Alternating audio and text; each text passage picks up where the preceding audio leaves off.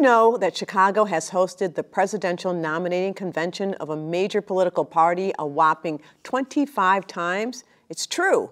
And next summer will make 26 as President Joe Biden recently announced that Chicago has been selected to serve as the host of the 2024 Democratic National Convention. How did we beat out cities like New York and Atlanta to land the 2024 convention? How will hosting a convention of this magnitude impact our city? But perhaps most importantly, are we ready? Well, I'm Andy Zopp. This is Chicago Newsroom 2.0. We'll talk about the convention and more after this short break. This week on In the Money, we will learn about the certification process and how it works. It shows some level of reputability and credibility for your business who have gone through this vetting process to get certified. I already had kind of a lead, but that said to me that yes, companies and organizations are paying attention to the certification. In the Money airs on Thursday at 7 p.m. on CAN-TV 19, cantv.org, and on the all-new CAN-TV Plus app.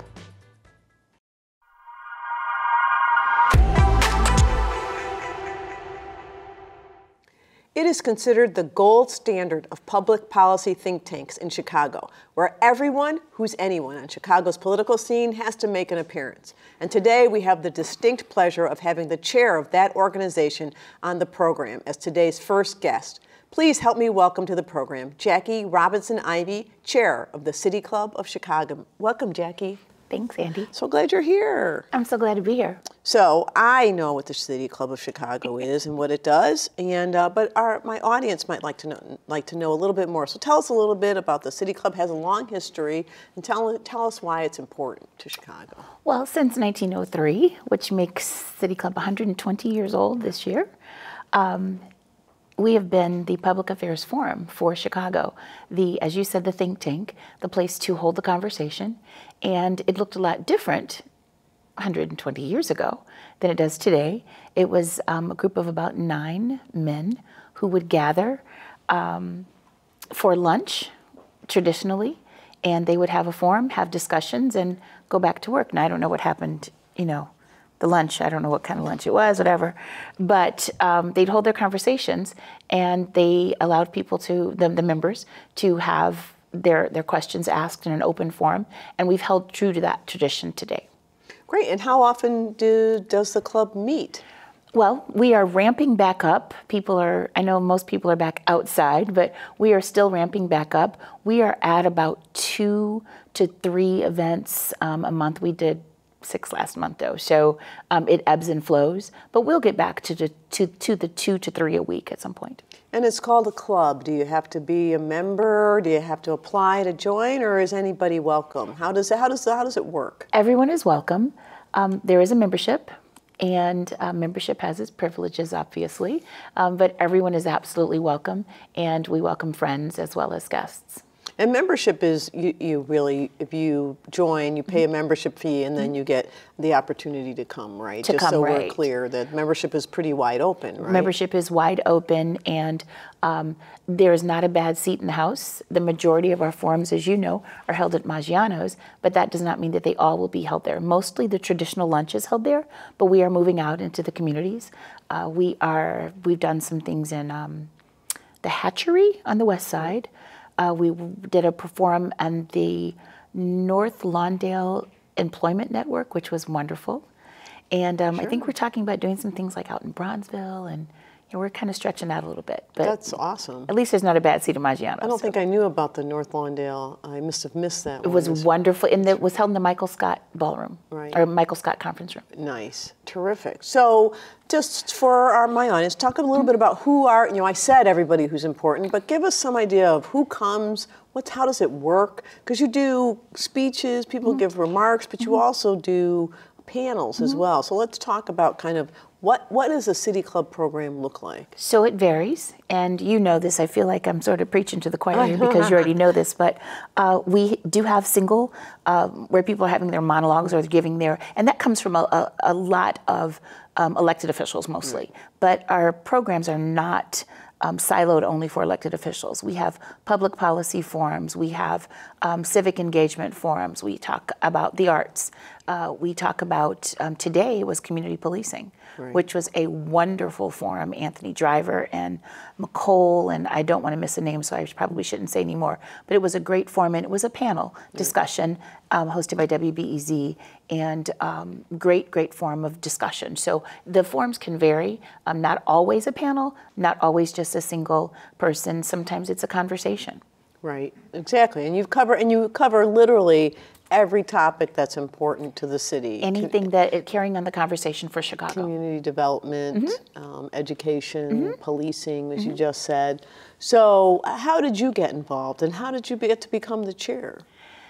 Interesting. Um, I was attending as a guest, and in my role, at my organization, I was like, this is probably something that we could get involved in. And we should just take a minute and let's talk about just for a little bit what's your role, what's your organization, and what is your role there? I serve as senior vice president of public affairs and government relations for the Northern Trust. Which means that you are uh, out and about, kind of a mover and shaker of your in your own right. Oh, that's very kind of you to say. I think it's just a fancy way of saying that I'm the bank's lobbyist for state and local matters. No, it's a little bit more than that. Which it's about making relationships relationships, which is and what you a, have. And having a good external right. presence. Right. Um, as you know, that can be challenging, and I've watched and learned so much from you over the years that having an external presence involves a lot of internal work as well. So we try to make sure that all the you know loose ends are tied up, and that we you know are doing what we need to do externally for the community, for the communities we serve, and in which we live in. Right. So you're at an event in mm-hmm. your role for the bank. And I thought, gosh, this is something we should get involved in. So I started inviting more people from my organization. And I got back to my desk after a meeting or something, and I got a call from one of our former CEOs. And he said, You're going to get a call. And I was like, I'm going to get a call. It's going to say what? And well, that's like a classic Chicago thing. Right. Like you're, you're going to get a call. You're going to call, or I know a guy. Just answer it. Right. I know a guy.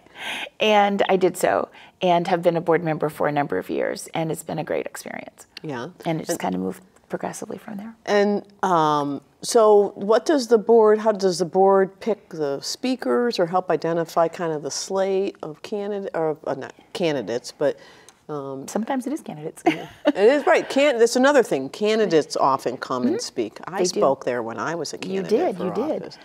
And um, and you spoke when you were uh, CEO of the Urban League as well. I did. Yeah. I so, uh, so we have moved into 2023, and while I'm sitting in the chair, one of the things that's most important to me is to make sure that we have a wide array of discussion topics and people. So if you look at the audience today, it's vastly different than it was, you know, five, seven, ten years ago. And part of that is because I think, and the rest of the board believes that the audience, the members, ought to look very much like Chicago. And um, that's usually important, not only to me personally, but I think professionally and for the city, it should be important. So the board does make suggestions, and we've given them the we've given the staff uh, four or five topics that we want them to cover.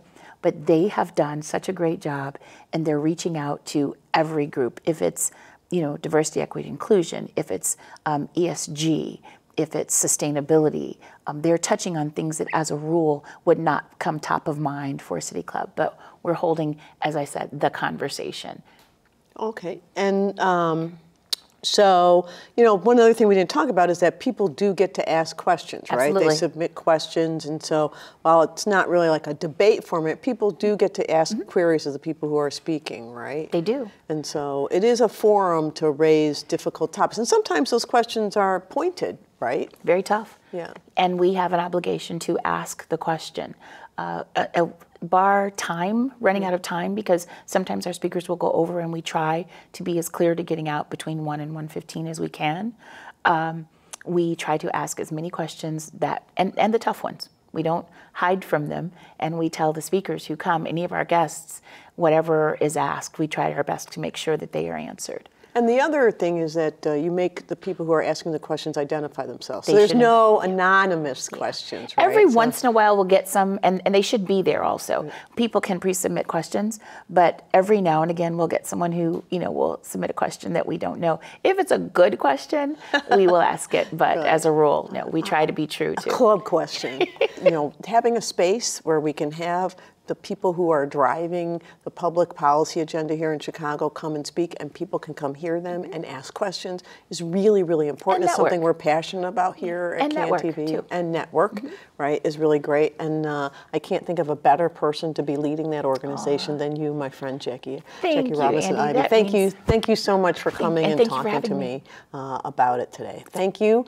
It's always a pleasure, and uh, we look forward to having you here. Hope you'll come back. Absolutely. We'll be right back with the roundtable. Stay with us. In 2020, it was estimated that over 65,000 people experienced houselessness in Chicago. Loss of jobs, domestic violence, and racial inequality are all factors that lead to houselessness. This week on Change Agents, we will meet agents of change who bring love to our unhoused. Join us this Thursday at 7:30 p.m. on CanTV 19. Stream us on cantv.org or download the CanTV Plus app.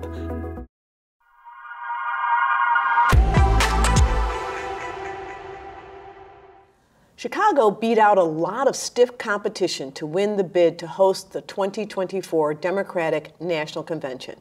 Why is it a big deal that we were selected? What happens now that we've been named next year's host city? And are we up to the challenge? Well, here to help us work through all of that are today's roundtable participants. Tia Carol Jones, managing editor of Chicago Citizen, Delmarie Cobb, political consultant, and 1996 DNC press secretary, the first black person to ever serve in that role, and Eric Kincaid, associate vice president of sales, Choose Chicago. Welcome. Thank you. Thank you. So we've been selected. Why? Why do we care? Why does that matter?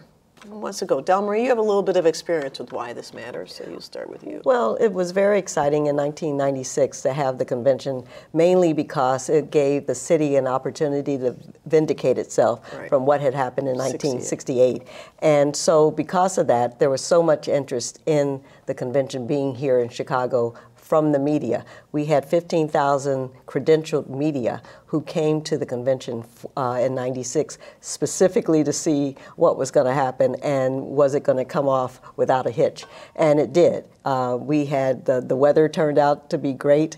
Uh, and of course, we know Chicago, there's no city prettier than uh, Chicago in the summer. And, uh, and, and then the opportunity to showcase the city and the infrastructure that was that was built up around the city. And of course, when the convention leaves, the infrastructure stays. So many neighborhoods benefited as a, as a result of having the convention here. Exactly. In fact, if, if, if you're on the if you're on the Kennedy and you're driving through downtown and you look at the bridges, you can see the little the pretty art the pretty uh, iron work that was put in for the convention. That every time I look at it, I remember that. So Eric, Eric, you were part of the process to fight for the convention. Choose was in the lead. Why why such a big deal? Why does the city care that the convention come here? Yeah, there are many reasons why this is big, but one of the key things I want to touch on for why it was big for Chicago now is that there's a pivotal time coming out of COVID, and then as well as you know us as a hospitality community trying to navigate the waters of what we look like post COVID. So Chicago is known for large scale events, large conventions. This is what we do. And typically we plan these 10 years out for a show this size. But it also goes to show for Chicago, we can pivot and we can navigate the waters to make this happen in a short time frame. But it also, I would say, it brings us together. It shows that Chicago is a collaborative city, that all entities can come together for something important as the DNC and really execute it and showcase it and do it well.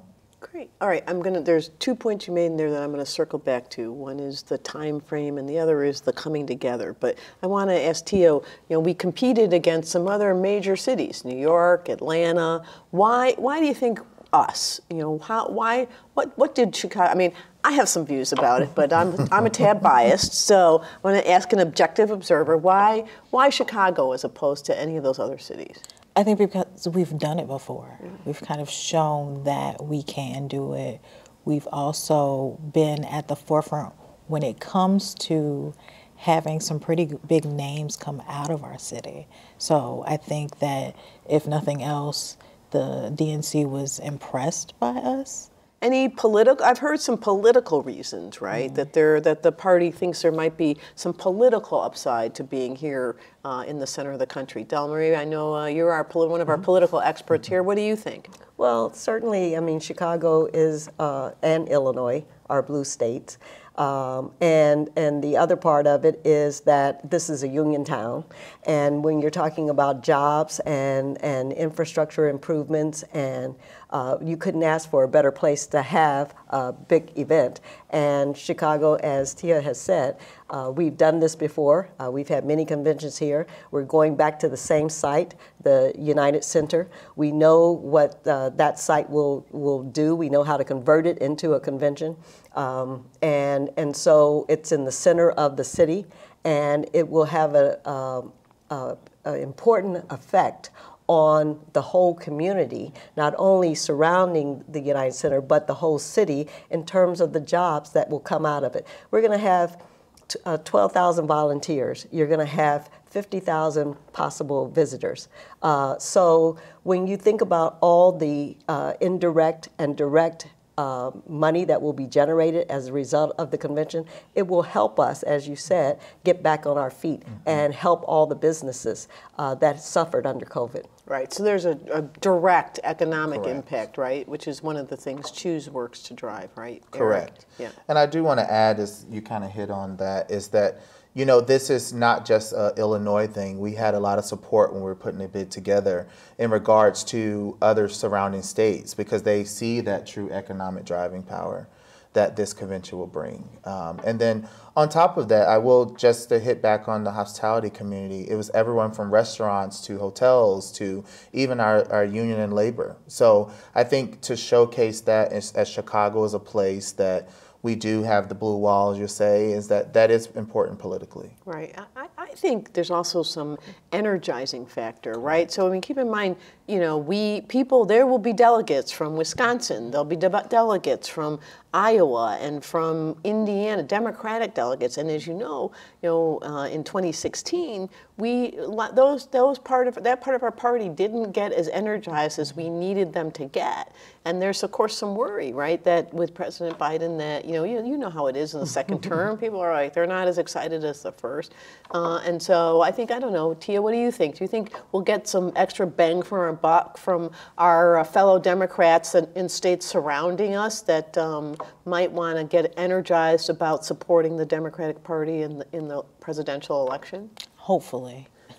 I'm very hopeful. Um, I think that those states could also benefit from the commerce and the things that we're going to get. So I just I want to I want to talk a little bit more about kind of the impact on Chicago, but I want to just ask you just so people know what does the press secretary do? It sounds really big.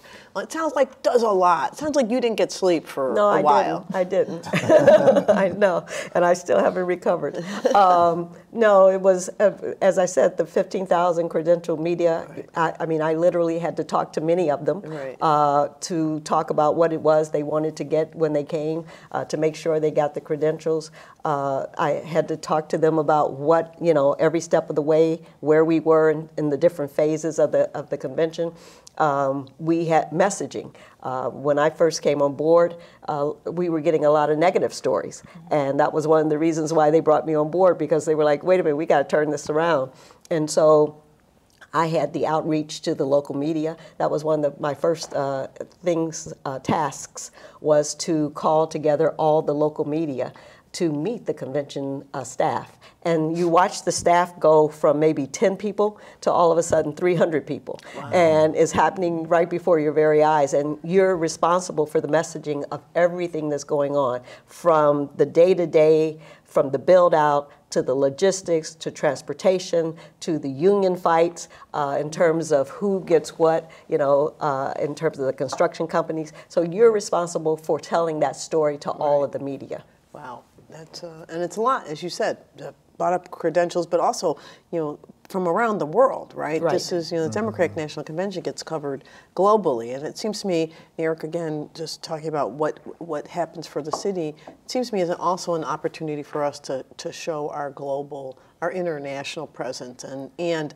the upside of our status as a as a welcoming sanctuary city, right? Because we are so diverse. Is mm-hmm. that I know that was part of the pitch, right? That was a major part of the pitch, and you know, and let's just be honest. There is a, a a perception of Chicago right now does not meet the reality, and so reality of, of those who live in Chicago, we know that it is a city that does come together in times need to when we need to, um, and then also this also gives us a chance to really showcase to the world who Chicago is, what we are, what we're made of. Because I love to say we're the heart of of the Midwest, and our Mis- Midwest hospitality showed through and through. Right. Well, then that gets us to will we be ready? Right? I mean, you know, people are, and really talking about the perception and reality don't really align. You know, people, when, I don't know, I'm sure when you guys go other places, the first thing people ask you are, are you safe?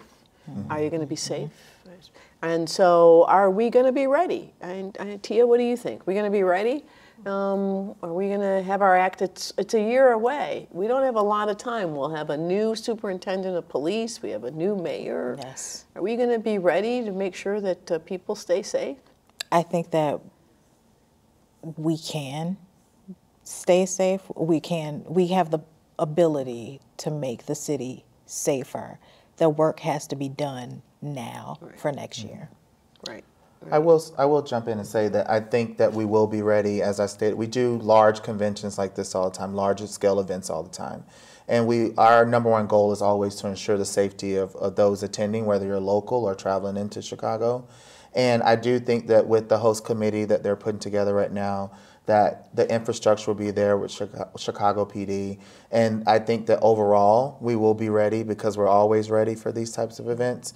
And it'll also showcase to the world that if you're not meeting in Chicago or hosting an event in Chicago, that you, you definitely should. Right. So it's a great opportunity to show, Correct. you know, what kind of convention we can do. Delmarie? And it's a, and it's a good opportunity too for um, small businesses to take part in the convention. One of the things we did when I was there is that the DNC put uh, 1.5 million dollars in three community banks while I was there. So 500,000 in each bank, uh, two black banks and one Latino bank, and the DNC cannot take the interest because it's a federal entity. And so the local bank keeps the interest. But the caveat was that if you decided you wanted t-shirts, you could then go to that bank, get a $5,000 microloan to do t-shirts for the convention. and so that was an incentive. And the first balloon drop was done by a black balloon uh, uh, shop here. It was the first time that ever happened. Uh, one of the florists, Leo Florist, was the provided the flowers for the convention. So we, the first insurance consortium was for the Democratic Convention that was black. And so we went out of our way to make sure that black people and Latinos had an opportunity to take part in the convention. Well, yeah, that's I, I you know, I, in the back of my head I thought about it, but that's such a great point. I mean, what a great opportunity to showcase what you can do and what your business can do, and also to showcase the breadth of businesses that we, that we have here in Chicago. So, speaking about money, this year the and the cost of the convention, you know, I know people may be worried that you know now we're, we're we have all these issues about our budget, and now we have to pay for this convention, but the government is not going to foot the bill for this convention, right? And I saw that uh, Governor Pritzker has already said that he's going to ensure with his fundraising that the DNC is going to be debt free. Is that something else you talked about, Eric, as, as part of the pitch that you know we're going to be ready to make sure this happens and happens well? Yeah, so not to get too into the finances, so Choose Chicago doesn't get into that. but I will too deep say, in the weeds. yeah. But I will say that um, one of the key things is that, as I mentioned, they're putting together a host committee now, which is the forerunner, the person who will put together the fundraising package and Mm-hmm. ensuring that you know it is net zero. And I will say that in 1996, Chicago has been the only convention that has operated at that level. Wow, that's terrific. And so, for the host committee, if people are interested, how does the host committee get selected? Who picks those people? It's a it's a group of community leaders Yeah? Oh, from nice. businesses to government to local tourism authority. So maybe Lynn Osmond, my present CEO. Right. Oh, uh, terrific, and uh, someone from the uh, from the pier, McPier, correct. and And the mayor's office and the governor's office, office, course. all pa- are part of it. Right. Awesome. Well, that, that is uh, it's it's exciting. So, um, what else should we be thinking about? What should we be? What should people? How do people prepare?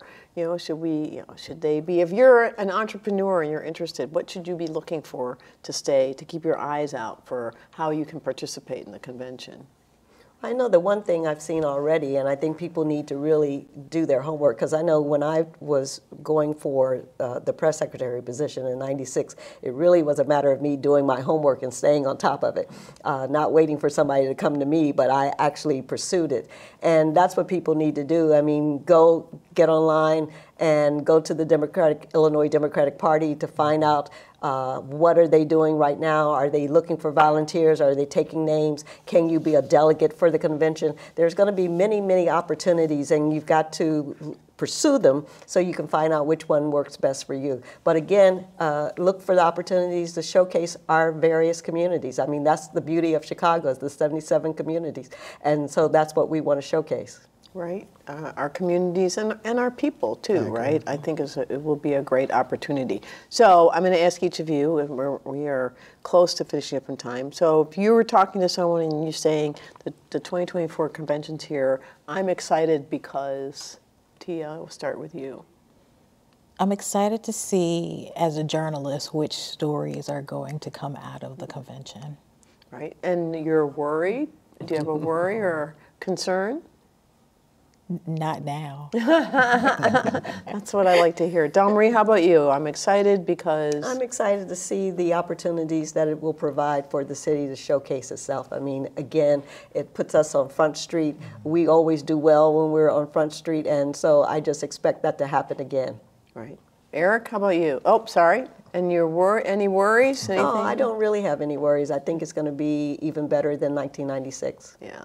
How, Eric, how about you? I, I concur. It's going to be our moment. It's going to be our time to shine. It's going to be our time to really showcase and tell our story, to tell our personal story without allowing someone else to do that. Um, and I don't have any worries. Right. I, I think that, similar to my friend here, I think that it is going to be groundbreaking. It's going to be bigger and better than it's ever been before. Yeah, I think to your point earlier, I think this is what we do well. You know, for me, what I'm excited about is you, you touched on this, is that perception is not reality, right? You know, I spent so much time in different roles, you know, uh, overcoming people's perception uh, about Chicago. Uh, but then they get here and they're like, oh my God, this is an amazing city. And so I'm, what I'm excited about is that people will get to see uh, really get to see how awesome and amazing this city is from all over the country. And uh, that it'll be a, a, a great opportunity for us to really not only tell our story, but change our story, right, to something more positive. Thank you, thank you, thank you for coming and uh, talking about this exciting uh, victory for the city and uh, this exciting opportunity for us, something to look forward to in 2024. Uh, I think really appreciate it. So thanks for coming. It's great to see see you, Tia and Delmarie again, and Eric. Great to have you. I hope you'll come back. Of course. Thank you very much. I'll be right back with my final thoughts.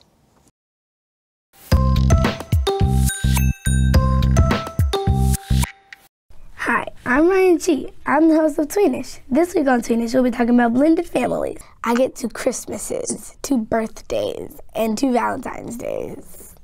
How about you, Cameron? Um, so I agree about the two Christmases. Check out my new show, Tweenish, on CanTV 19.